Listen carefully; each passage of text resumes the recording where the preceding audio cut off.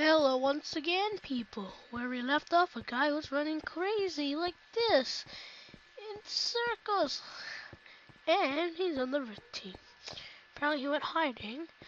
He apparently he got dressed, and he's in red armor and ready to kill. Hello everyone, once again. Um, he's on with another video. Um, the video I'll be doing is about coins over here. It says there are coins. Um. uh, so what we're going to be doing is that um this machine is a item or a shop that takes 500 coins and it gives you one diamond. If I don't have 500, I'll just push the button. Nothing happens.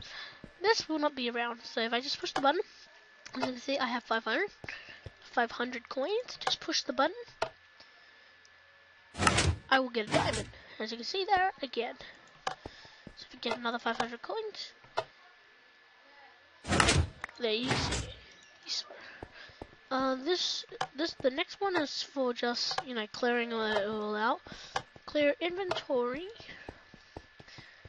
And, uh, LOL is controlled by me.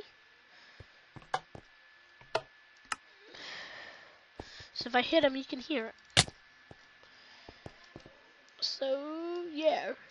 Here is the redstone. And a comparator and a command block. Come on, block. Command block. Come on. Okay. Thanks for watching. Bye. Ah, see everyone.